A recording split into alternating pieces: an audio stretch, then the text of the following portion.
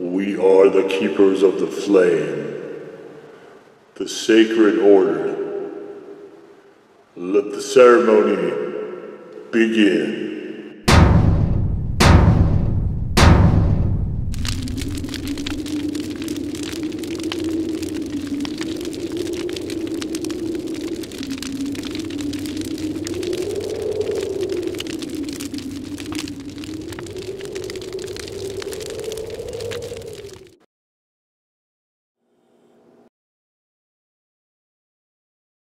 And today, faithful acolytes, we take a look at this. And what this is from Braswell's since 1946. I don't think this sauce has been around that long, probably just a company. We have good and evil hot sauce. It, so if you read the written review, the link to which is available down in the description below, you can see that I was pretty confused with this label. I don't understand the pirate theme the skull and cry. I mean, oh, hot sauce companies, what are we going to do with you? So this one, you can see the these letters in jalapeno. This looks honestly kind of childish. Good jalapeno, bad habanero. or sorry, rather evil, evil. So this is they're calling it a mild sauce, and they're calling it 320 Scovilles.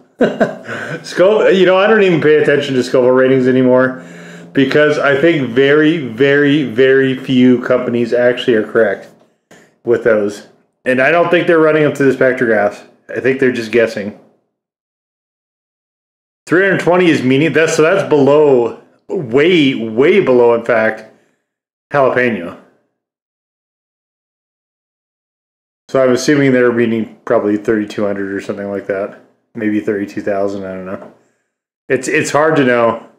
Anyway, we have water, orange juice, cane sugar, jalapeno pepper puree, jalapeno pepper puree, red bell peppers, ginger, garlic powder, natural flavors, which is not extract here, salt, onion powder, citric acid, xanthan gum, uh, pepper, I'm assuming they mean black pepper there. Habanero powder and cayenne powder. And they say the last two are the ones that are bringing the heat. So cayenne does not bring the heat powder. Uh, we'll just put that out there. Habanero pepper being buried that far back probably really isn't either. So here's the other thing too. So if this is 320, that is a bell pepper is basically zero. So this is just slightly above a bell pepper. Can you call yourself a hot sauce if you are claiming to have the heat level be that low? Like, is that is that a reasonable thing? At that point, it's probably a sauce. There's spicy ketchups that are hotter than that. So this is my first ever from Braswell's.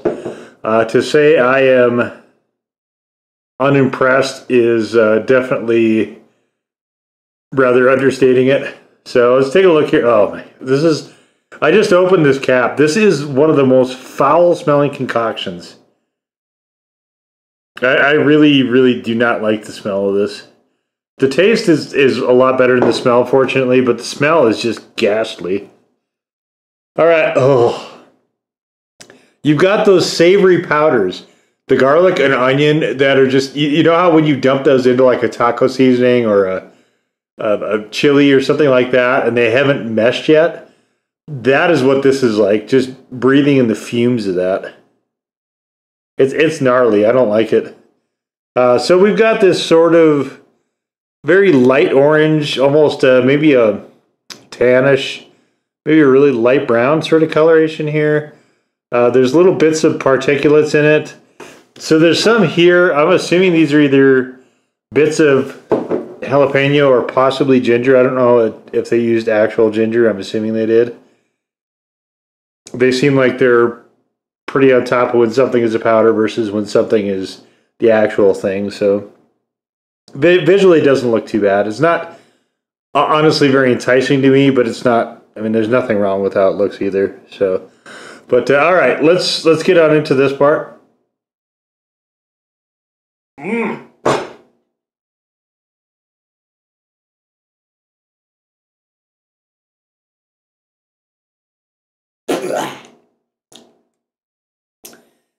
The orange finish is nice.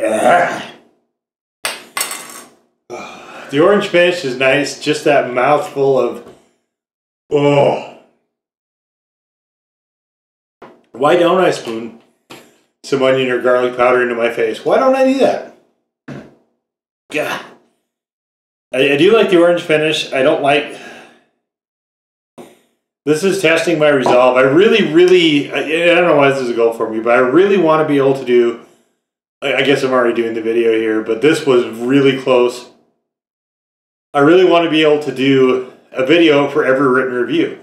There's no year where I've done that yet. So this year, which is the blog's biggest ever in terms of reviews, actually, it's a it's the channel's biggest ever as well in every conceivable metric. And so I, I really literally picked the hardest year possible to do this with.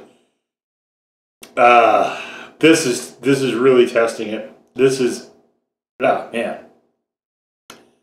That is so gross by itself. I, I do like the orange finish though. I think that part is good. I, I just wish they would have leaned into that and just like either reduced or eliminated some of those other flavors because they are really, really fouling the sauce. And I mean, it, it's about half the bottle is gone now, but to be honest, probably to about here. Actually, let's do it this way. You can see probably to about here was fouled. It was all discolored sauce, so I tossed it. So I, I've been trying to find places to to use the sauce, but it is so unappetizing to me that it just where I have used it, I just haven't really liked it, except for uh, fried chicken, chicken strips, things like that. So here I've got this is a plate here, popcorn chicken, and so we're just. I, I just I, I can't imagine I'm gonna finish this. So we're this might be this might be it for this sauce. But we're just to throw it on some of this popcorn chicken and hope for the best. I just. I agitated this really well prior to opening it too, before this video. So, even if I wind up, and here's why I think I want to bin it, is because this was a dollar. And I'm going through it with this sauce, and to me, it's just not worth keeping to get, to, to wring that 50 cents of value out of it. That's why I always say, right? Life is too short for bad sauces.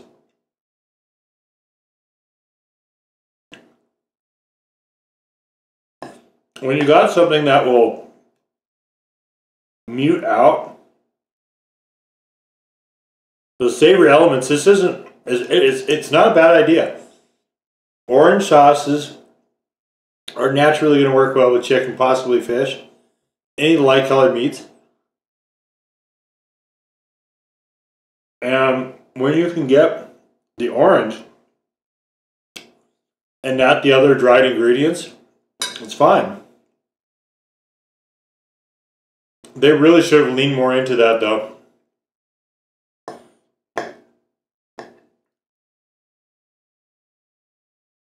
Heat here is really, really minimal. They called it mild. It is certainly that.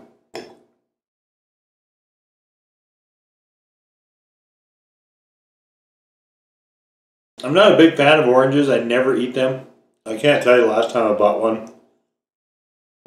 I don't drink orange juice unless I really got a you know hankering for a screwdriver or something. But I don't really drink hard liquor very much anymore either. So those days are few and far between. But I do think it works well on hot sauce. The Blood Orange Ghost from Guindo's is another really good one. I think it dials down the flexibility because I don't want citrus on my pizza, for instance. Or in a creamy sort of sauce dish like a, you know, your Alfredos, your mac and cheese. But, I mean, I might go through this strictly for just keep it around as a chicken strip sauce, maybe. I don't know. It just isn't that good overall. It's just okay.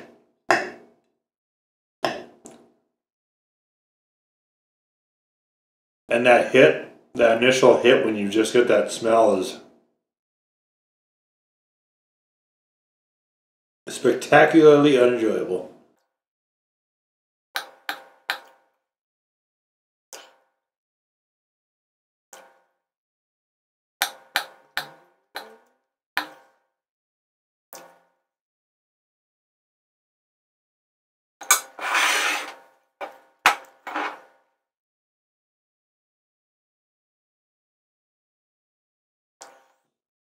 So,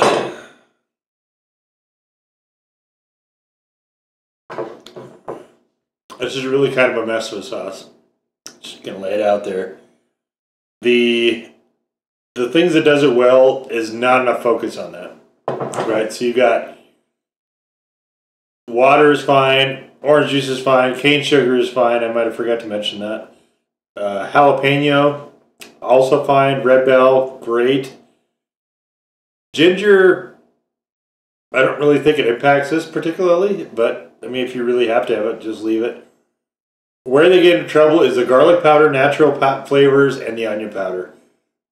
Those three things. Well, actually, I don't know what natural flavors is. Let's throw it out. The onion and garlic powder, though, a little of that goes a really, really, really long way. And I think this this might be something that is harder on me personally because of the onion intolerance, but I, I would wish they would just eliminate that one entirely. Uh, it's not adding anything to this sauce, and the garlic I would dial down a lot more. But the other thing too is the whole idea of a 320 Scoville sauce. I mean, if you if you've got the habanero and cayenne I'd say lean a lot more into the sweetness of the orange juice and just make it a nice sweet hot.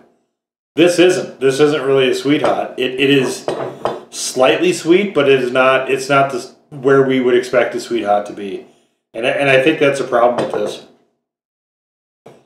because it. Uh, yeah, it's. Um,